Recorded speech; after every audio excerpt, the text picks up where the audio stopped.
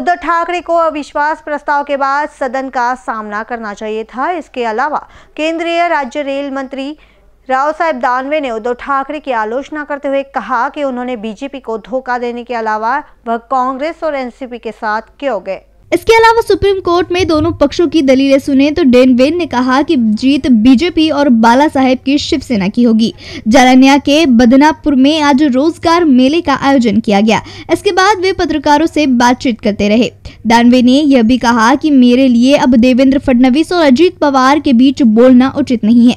उन्होंने कहा कि मुझे सुबह के शपथ ग्रहण समारोह के बारे में कुछ नहीं पता था।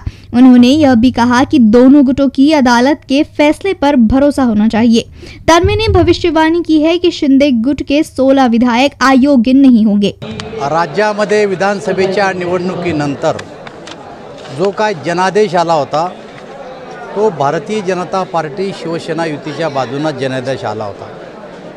परंतु जनादेशाला धुडकावून असंघाशी संगत केली आणि भारतीय जनता पक्षाची युती तोडून काँग्रेस राष्ट्रवादी बरोबर युती केली आणि सरकार स्थापन केलं हे या राज्यातल्या जनतेला पसंत नव्हतं.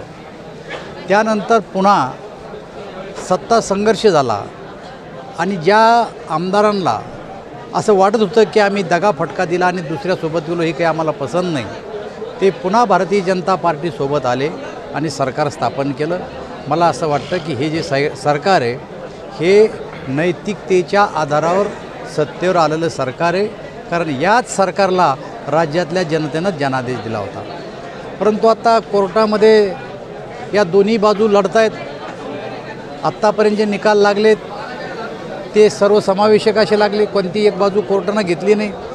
आणि मला असं वाटतं की आता कोर्टामध्ये सात न्यायमूर्तीपुढं जे प्रकरण जाणार होतं ते पाच न्यायमूर्तीपुढं त्याची सुनावणी होणार आहे. तर कोर्टावर दोन्ही पक्षांनी भरोसा ठेवला पाहिजे. उगीच त्याच्यावर टीका टिप्पणी करून काही फायदा होणार नाही. मला असं वाटतं की कोर्ट जो निर्णय देईल तो निर्णय आमचं सरकार मान्य करेल आमचे कार्यकर्तेही मान्य करतील. आम्ही कुठल्याही प्रकारचा अविश्वास कोर्टावर दाखवणार नाही. पैशावर सत्यावर ही जी त्यांची भाषा आहे मला असं वाटतं ही भाषा सोडून त्यांनी कोर्टावर विश्वास ठेवला पाहिजे. इन न्यूज के लिए अभिषेक पांसे की रिपोर्ट.